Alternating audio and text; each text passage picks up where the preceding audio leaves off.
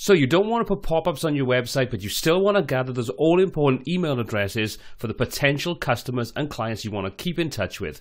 Well, in this video, I'm going to show you how you can avoid using plugins and create a great-looking sign-up form just using Elementor and OceanWP's hooks. So let's jump into WordPress and take a look at how we can do all of that right now.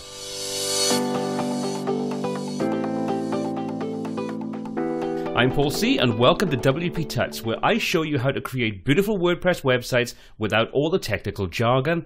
If this is your first time on the channel, please consider subscribing and clicking that bell icon to be notified of our weekly new content as soon as it's added to the channel. Okay, so here's the scenario. You want to be able to capture that information to get people to sign up to your mailing list, but you don't want to go in through and create a pop up or something that kind of intrudes on the way that you want to work. You also want to be able to control exactly where this is placed. This is what I'm going to show you today. So, this is our typical blog page. You can see we've got a header, some text, then we've got our share buttons, and you might also like kind of things underneath it. Well, what I want to do is I want to drop in a subscription form underneath the actual body of my blog post and above the share icons. Now, I could use a plugin to do this, but I'm going to show you how to do it yourself. You're going to need to make sure that you've got Elementor Pro. You're going to need to make sure you've got the Astra or the Ocean WP Hooks plugin installed. That allows us to hook into the relevant sections of our pages. If you don't have those plugins, I'd recommend just checking out the link in the description below. It'll take you directly through to the different products where you can purchase those. It's an affiliate link, so it'll give a small percentage back to the channel while costing you no more money. So, next thing we need to do is make sure that we've got some form of mailing list uh, sort of setup going on. Now, I'm going to be using MailChimp for this. You could use any of the other ones that are supported by Elementor Pro. So, what I'm going to do is I'm going to go into MailChimp and we're going to go and grab that API key. So I come over to MailChimp. What I'm going to do is going to just simply come in and log in, and then we'll go into our account. We can take a look where those API keys are stored.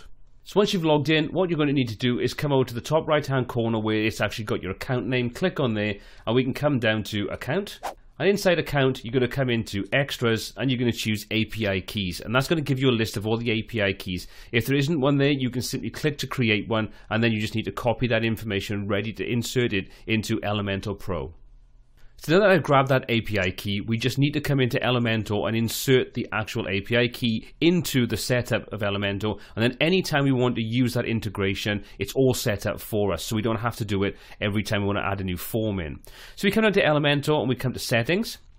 In there, you see we've got a tab that's integrations. Click on there, and you can see we've got a ton of different things we can use MailChimp, Drip Campaign, Active Campaign, and so on.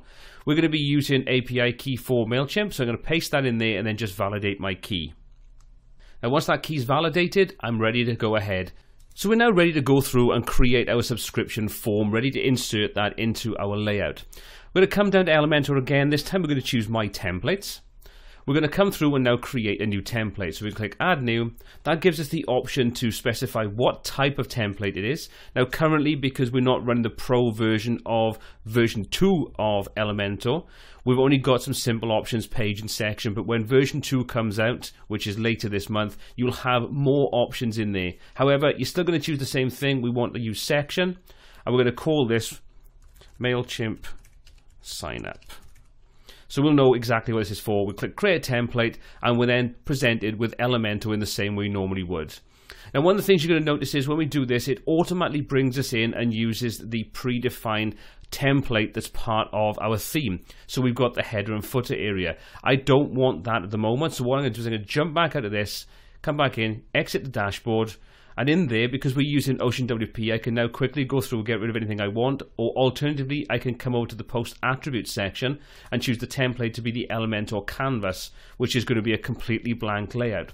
Hit publish on that, and then we'll come back in and edit with Elementor, and we should find now we've got none of those distractions on there. We've just got a plain empty page ready to use. So, what we're going to do is click Add New Section. We're going to click to insert a simple layout. Next up, we're going to come over to the left-hand side and we're going to pull in a heading. We're going to pull in just some simple text. And finally, we're going to come back in and we're going to come into the Pro Elements and we're going to choose a form. So all we're going to do in here is give people some information that they can subscribe. So we can say, if you enjoyed this article, please consider subscribing. Okay, so there's our simple call to action. Obviously, you could make it much more interesting than that. I leave the Lorem Ipsum text in there for now, but I'll generally just put something in there saying like you won't be subscribed to spam. It's a weekly newsletter, so on, so people know exactly what it is they're signing up for. Next up, we've got our form, and this is we can go through now and control exactly what happens with it. By default, it's just a plain form that will send an email, but we can override that very easily. So let's select our form element, come in here, we don't want the message, we can just delete that from there. What we're going to do is we're just going to quickly tidy up these names. We're going to say we want this to be 50%, and we'll do the same for the email, set that to 50%, so we get a nice streamlined form. Okay, leaving the button as it is size-wise, but what we're going to do is we'll just come in and say new form name, we're going to call this subscribe. We want to get rid of any of the labels just so we get a nice simple streamlined interface.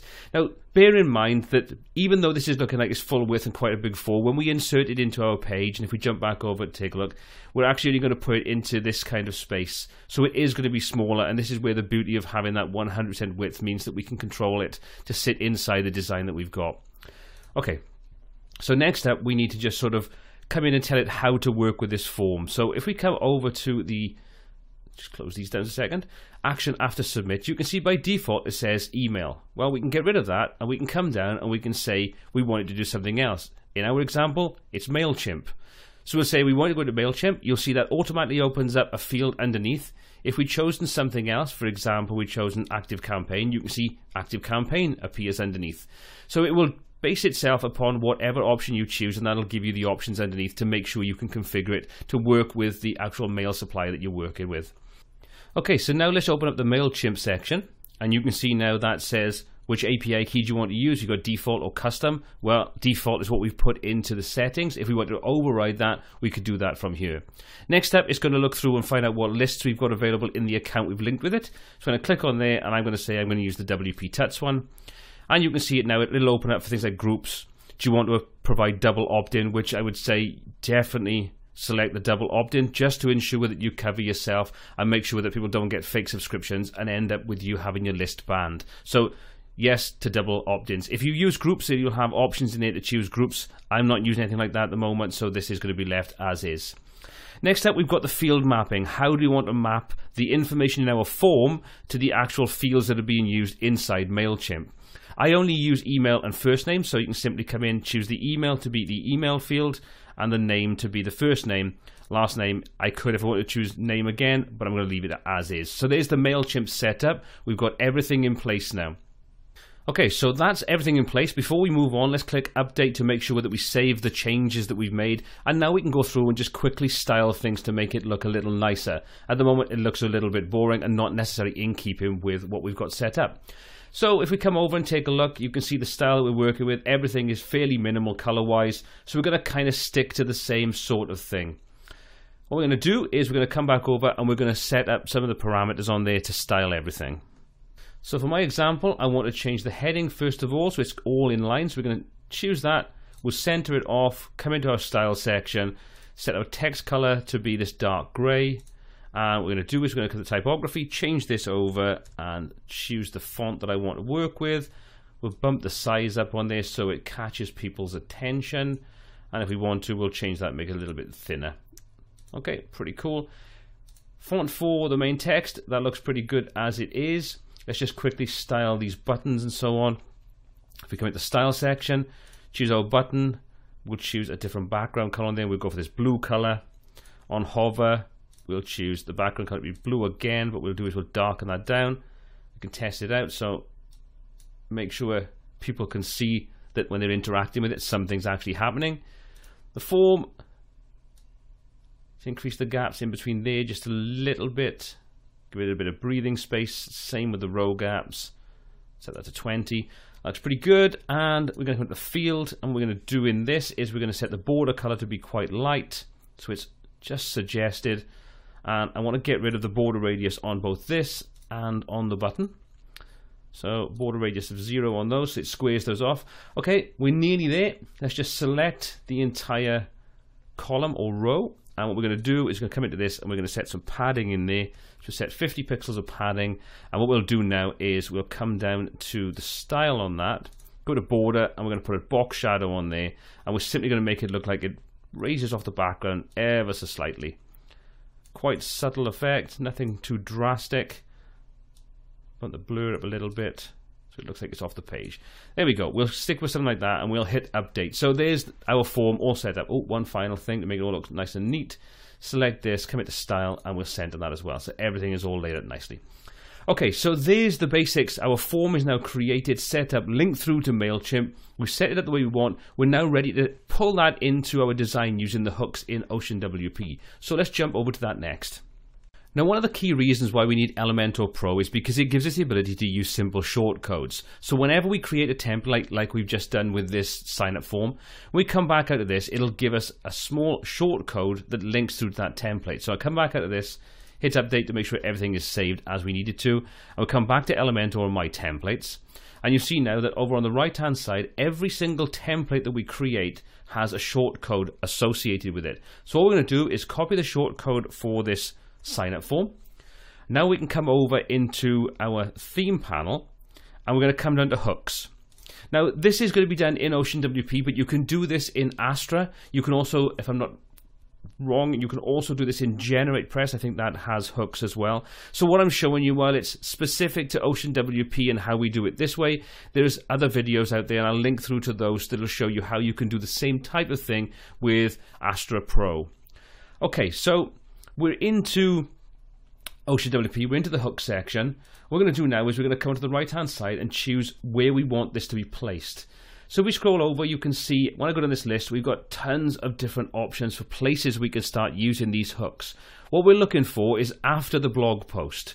So if we take a look, you can see before page entry, before blog entry content, after blog entry content, and so on. So we've got to find the one we want on there. So we're going to scroll down. All we want to do is have this at the bottom every single blog post. We don't want it on pages or anything else or listings, just on the blog post itself. So you can see before single post content or after single post content. We're going to choose that. That allows us now to simply come over to the left hand side of the main area. We're going to paste that short code in for our template. We're then going to use any kind of conditional logic we want. So what we could do with this is we can stop people that are signed in from seeing this. So you can choose the user roles. So you could say, well, if someone's logged in, we don't need those to actually be able to see this. It's only for people that are not subscribed. Well, you could do that using the show if option. So you can see, we can specify who can see it. What we can also do is uncheck that, use conditional logic on this, say show on, and you can see we can restrict what pages this will be on. But for now, we can leave that as it is and we can just uncheck this. We don't need to do anything because we're saying after the single post content, so it's only going to be listed on the post pages anyway. So we can leave it as it is this. We'll hit save hooks. All we do now is we just jump over to the page and refresh that. And if we scroll down the page, there's our new subscribe form inserted into the page layout the way we wanted to. So just to come over and show what I'm talking about, we come to the home page, for example. You can see nothing is showing up on there. Our subscribe isn't on there. You the shop section. Nothing showing up on there except some errors, but we can ignore those. So we've limited it to only being displayed where we want it to be displayed. So we've tied that in very easily. Now, because this is a template, we can easily come back in and adjust anything we want. So at the moment, it's sitting probably a little too close to the actual text. So I could jump, jump back over, come over to Elementor, my theme templates, and I can come into my MailChimp signup, edit it with Elementor. Once that's done, I can simply come in and add some margins at the top if I want to. So we can come into this, we'll say advanced, and we'll say at the top, we want to put 50 pixel margin, update that, come back onto our page and refresh and there's our margin increased to make sure it sits nice and tidy within our design. And that's all there is to it. It's a very easy way if you want to pull in hooks and link that up to something like a template inside Elementor Pro, then link that template through to your MailChimp or any other kind of mailing services you want. So there we go. That was a little bit more of an advanced design tip that I wanted to show you. I hope you found it useful. If you did, please hit that like button, smash the subscribe button, and hit the bell icon to be notified every time we add new content. If you'd like to support the channel, don't forget to use those affiliate links in the description below. They don't cost you any more money and they do help us out. If you have any comments, questions, or feedback on this video, or any techniques that we've covered, or anything you'd like to see covered in the future, please pop those in the comment section below and let me know how you think this could be used inside your design, inside your work, to make everything just a little bit easier. Well, until next time, take care.